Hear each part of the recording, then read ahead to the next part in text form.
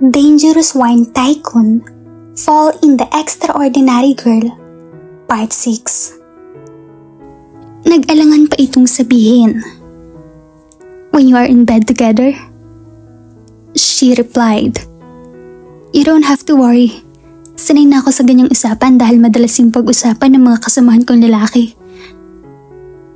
Those women make me feel empty. It's always sex and glamour. Well, I prefer dates like this, away from praying eyes of the press. That's why you're different. After ng dinner, uminom sila ng wine habang nakatanaw sa labas habang umuulan. This is a perfect date, Shanika. Thank you. I did nothing but drink your wine, eat your food, and talk. It doesn't matter. Tinitigan siya ni Cyrus. You look beautiful tonight. You are the one who's perfect. Thank you for making me feel special. You are special, Shanika.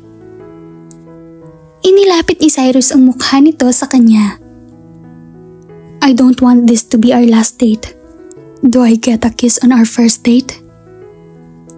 Ginaya niya ang mga napapanood niya sa TV. Ipinulupot niya ang kanyang mga kamay sa leeg nito. His mouth was so warm against her. He tasted the head wine and raw masculinity. Naramdaman niya ang kuryenteng dumadaloy sa kanyang buong katawan. She loved the feelings. Her blood was ringing in her ears. Isang reaksyon na nakukuha lamang niya kapag nagko-cover siya ng balita. Only she didn't feel any danger. He made her feel safe and contented. Only she wanted more. She knew he could offer her more if only he did not stop kissing her. He kissed the tip of her nose. I have to stop now, babe. You are sucking the life out of me with just a kiss he said with a laugh. Is that bad? Tanong niya dahil sa kuryosidad. No, it's perfect. Sinong i-date niyo sa darating na charitable ni Mama? Tanong ni Leo habang nasa acupuncture session ang grupo nila sa bahay ni na George mula ang kanyang mga politiko ni Leo kaya madalas magdaos ng charity ball ang mama nito at hindi maaaring mawala ang kabarkada nila sa ganoong okasyon. Of course, it's Colin. Sagot agad ni Tyron. Dating matinik na playboy ito, pero ngayon ay eternally loyal ito sa nobyang si Colin. Oras daw kasi na nahuli itong nagtaksil ng nobya o kahit tumingin ito sa ibang babae, itatadta rin ito ng pino. Hindi ko pa sigurado ang akin. Titingnan ko pa. Sabi ni Dominic. Saan? Sa phone book mo? Tuwing magde-date ito ay lagi na lamang problema ito kung sino ang ide-date dahil sa dami ng mga babae nito. Why don't you ask Tim to develop a special software just for you? Yung pwede mong i-electronic raffle ang lahat ng babae mo. Kansaw rito ni George. Offer it to Jackson as well. Sabi niyang hindi maitago ang ngiti. No thanks. I'm more organized than Dominic. Alam ko kung sino ang dapat i-date depende sa okasyon.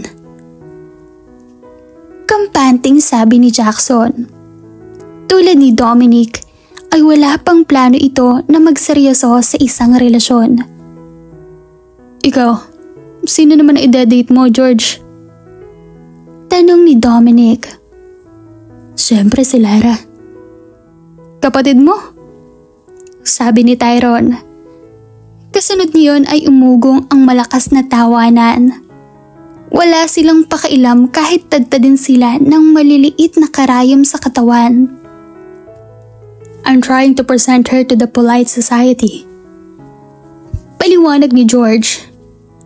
Mas gusto pa kasi niyang manood ng anime, maglaro ng computer games, at tilian ang mga kung sino-sinong Asian superstar. Gusto kong mag-mature siya. He could imagine George's little sister, Lara. She looked like a pretty tame and fragile Japanese doll. Pero batang isip pa nga ito. Ayon dito, hindi raw ito nakikipag-date kung hindi lang din naman kahawig ni Uchiha Sasuke o ni Yu-Gi-Oh ang makakadate nito. Enough of being a responsible brother, George. Jackson advised. Bibigyan na lang kita ng babae kung wala kang mahanap.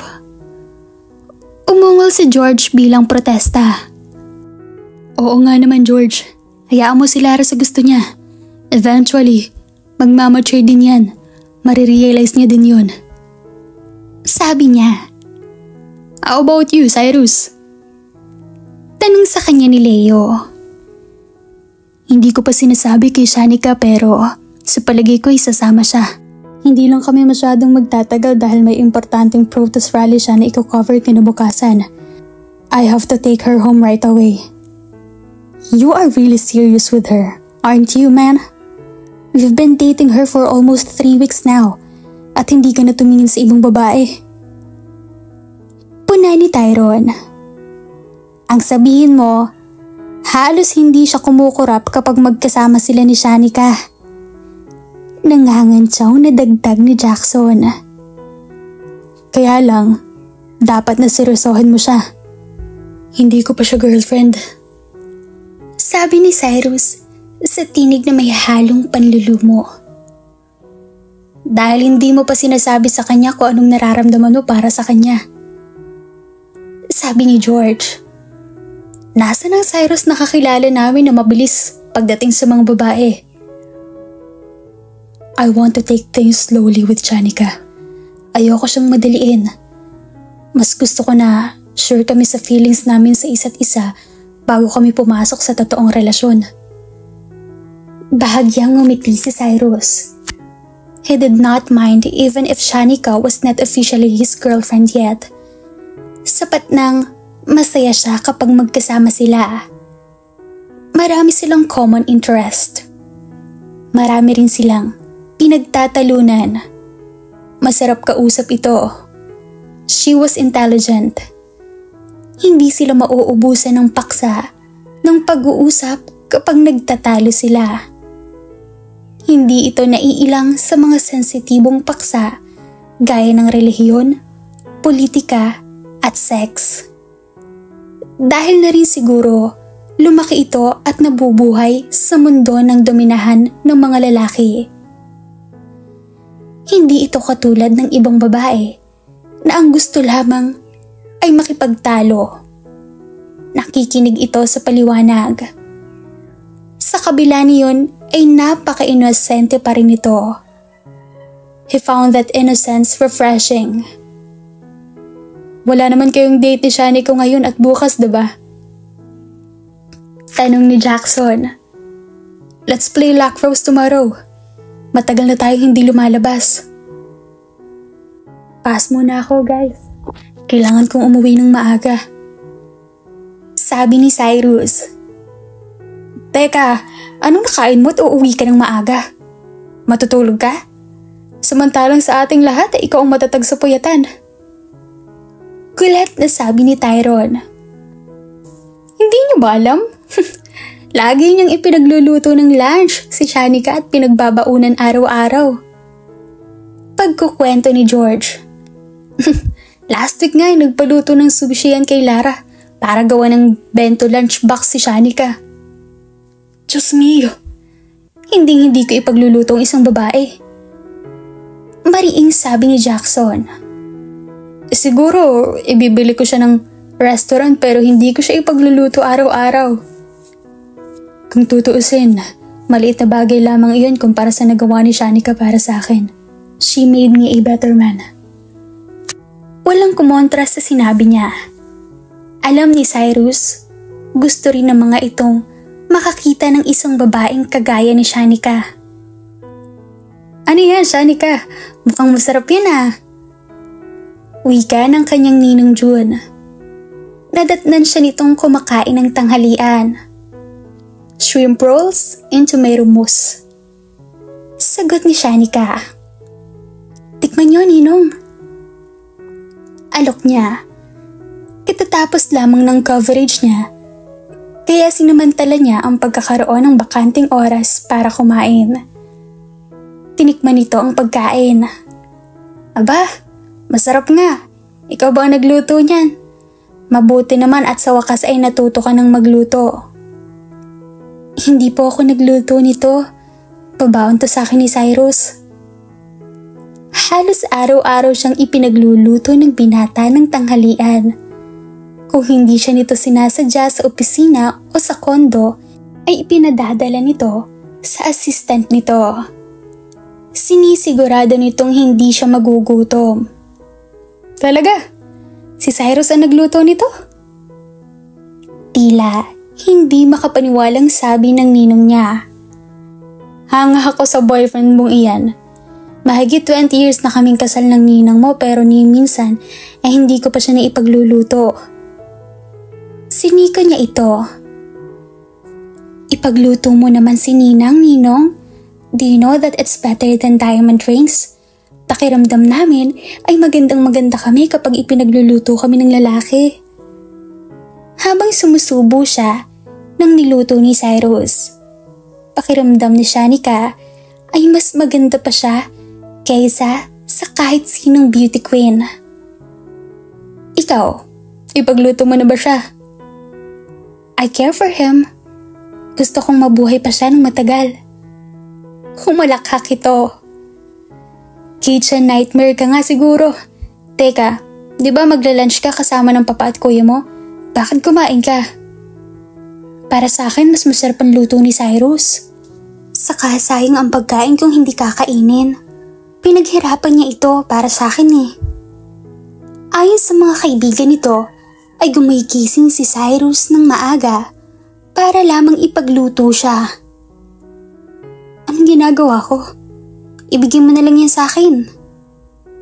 Naku, Ninong, hindi pwede dahil baka magayuma ka.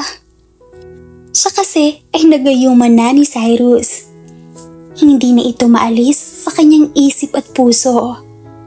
Kahit sa pagtulog niya, ay laman ito ng kanyang panaginip. Mamaya ay magde-daydream ka kay pa rin Cyrus. Malilate ka na naman sa date niyo ng papa mo. Baka masarmonan ka nun. Eksaktong alas 12 ng tanghali, dumating si Shanika sa Sogo Hotel. Nadatnan niya roon ang papa at kuya niya. Hi pa! Pasiglang bati ni Shanika rito. Humalik siya sa pisngi nito at bumaling siya sa kuya niya. Kamusta ang gisahan sa kongreso kuya? Okay lang. Murder ka na. Utos nito chicken salad and perrier. Sabi niya sa waiter nang lumapit ito. Busog pa siya sa luto ni Cyrus. Yan lang ba kakainin mo? Tanong ng kuya niya. Chocolate cake. Dagdag ni Shanika bilang dessert. So, do we have another heart-stopping project? The drug cartel exposed was a success. Pinag-usapan din iyon hindi lamang sa Pilipinas, kundi maging sa mga international arena. Nagsasagawa na ng sariling investigasyon ng Kongreso. Wala pang bagong in-depth report sa ngayon. Sagot ng kuya niya. Is it true that you are dating Cyrus Anger? Sabat ng kanyang papa. Saglit na pinag-isipan niya ang isasagot niya. Yes pa. We are dating. Sagot ni Shanika. The corner of her father's lips twitched. Ibig sabihin yun, kinokontrol nito ang galit nito.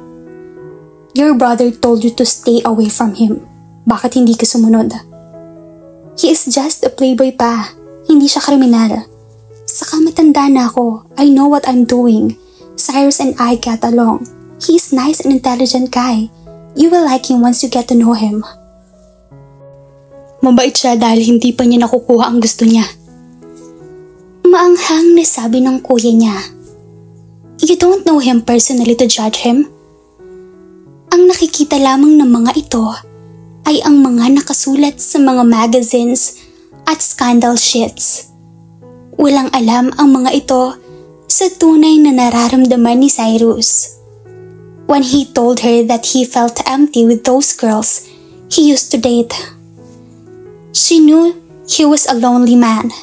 She wanted to fill the emptiness in his life. Kapakanan mo ang iniisip namin. Mariing wika ng kuya niya.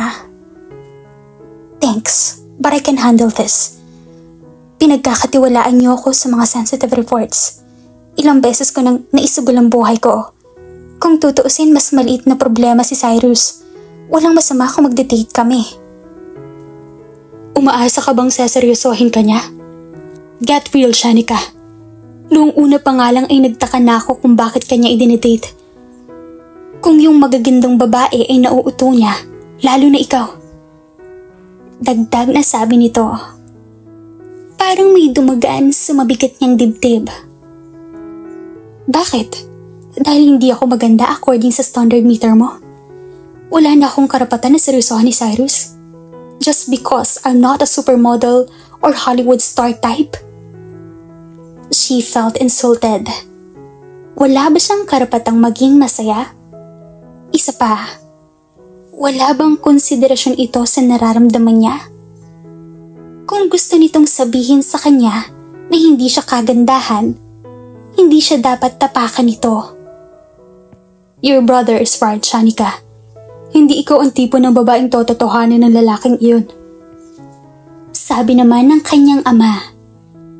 Pakiwari ni Shanika ay pinukpok ng malaking maso ang kanyang puso. Pati ito ay mababa ang tingin sa kanyang pagkatao. Gusto ni Shanikang magprotesta, pero pinili na lamang niyang manahimik. Ano nga bang laban niya? Sa mga ito. Kung seryoso sa sayo, pupunta siya sa bahay natin. Uwi ka ng kuya niya. Huminga si Shanika ng malalim. Excuse me, I will just go to the latest room. Sabi niya in a controlled voice. Umalis na siya bago pa matagdagan ang pang-iinsulto ng kuya niya. Nang makarating si Shanika sa ladies room, ay nagkulong agad siya sa isang cubicle at doon umiyak ng umiyak.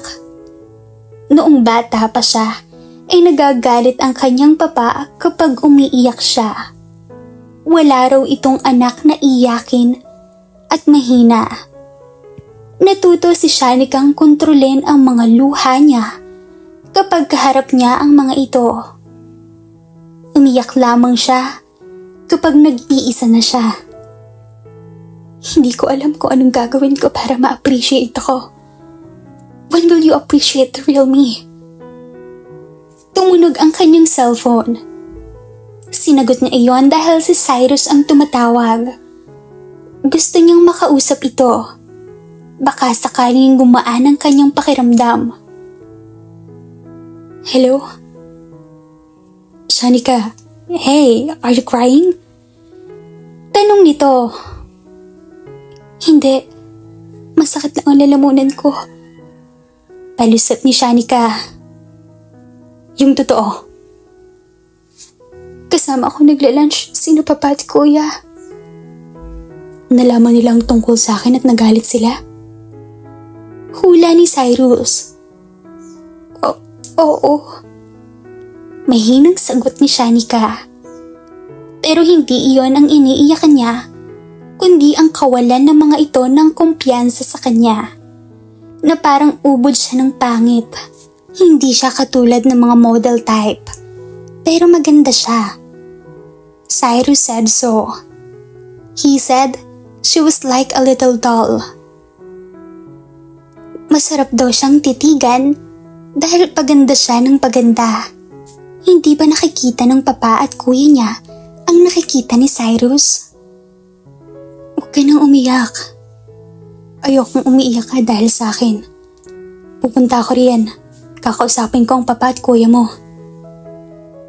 Pu- pupunta ka rito? Pero... Don't worry. I'm sure they won't skin me alive. Pagkatapos mag-retouch ng makeup, ay bumalik na siya sa mesa. Gumamit siya ng eye drop para hindi mahalata ang pamumula ng kanyang mga mata.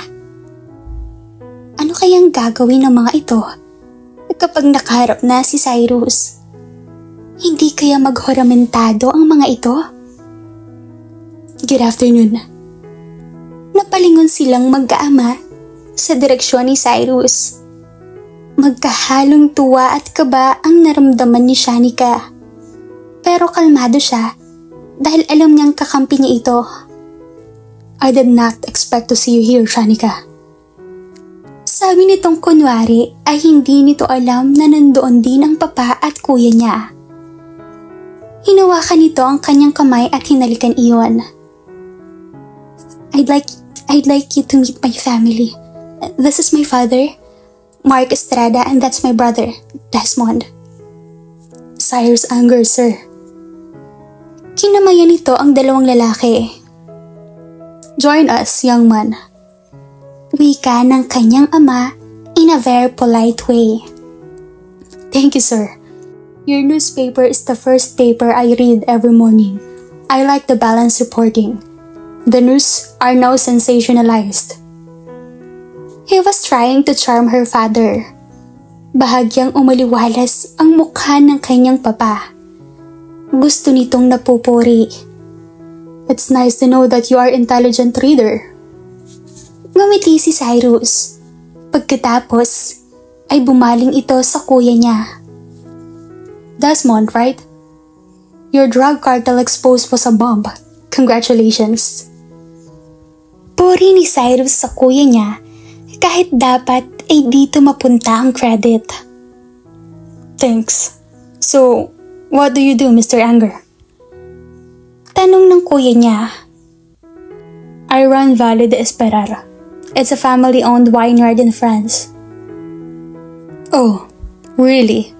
I'm more familiar with your escapades with women.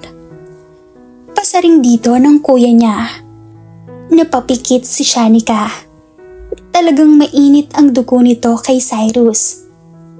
That's history. I'm dating your sister now. Yes, you are dating her until she becomes part of your history. Tumigas ang anyo ni Cyrus. Your sister is a special woman with unique beauty. I highly doubt she would just be a part of history. We are dating seriously. Mabuti at nakita ko kayo ngayon. Ipapaalam ko sana si Shanika. Gusto kong formal na umakyat ng ligaw sa kanya. Pwede ba akong dumalaw sa bahay niyo? At pwede ba ngayong weekend? At dito na po nagtatapos ang part 6 ng ating kwento. Sabay-sabay po nating abangan ang susunod na kabanata. Maraming salamat po. God bless and stay safe.